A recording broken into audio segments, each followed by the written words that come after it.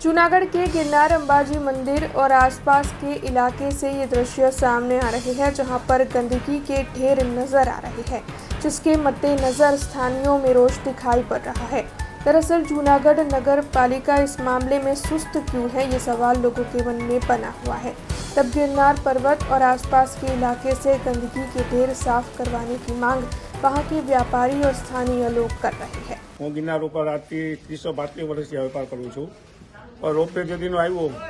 એ દિનો ropeway ચાલુ હોય તો કચરાવાળા બધો કચરો લઈ જાય છે.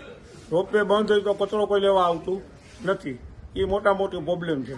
એ પ્લસ કચરાવાળા હમણાં આવ્યા હતા, રોપવે બંધ થઈ ગયો તો કચરાના બોરા મૂકીને બરફની બાજુમાં બોરા મૂકીને વયા ગયા. તો અહીંયા ભૂલ બહુ ખતરનાક છે, જંગલની ભૂલ, જંગલના ભૂલ. એને કચરો બધો તોડી નાખ્યો. એટલે કાલ રોપવેવાળા આવશે તો સફાઈ કરવાનું કહે તો એમ કહે કે આ તમારો કચરો.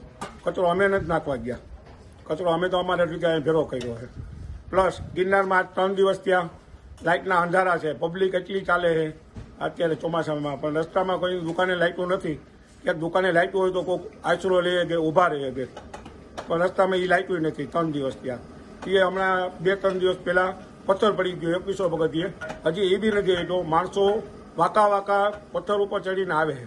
તોય આવે છે જાત્રાને કે ભાઈ માતાજી દર્શન કરવા જવું છે.